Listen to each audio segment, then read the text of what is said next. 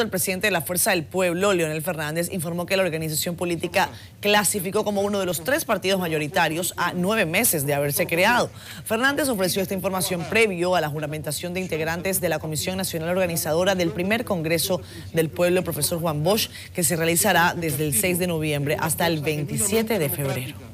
Popular, en tan solo ocho meses de haberse iniciado su proceso de construcción, la Fuerza del Pueblo tiene hoy día un bloque de senadores, un bloque de diputados, tiene alcaldes, alcaldesas, regidores, directores de distritos municipales, es decir, la Fuerza del Pueblo existe como una organización institucional de la democracia en la República Dominicana. A plenitud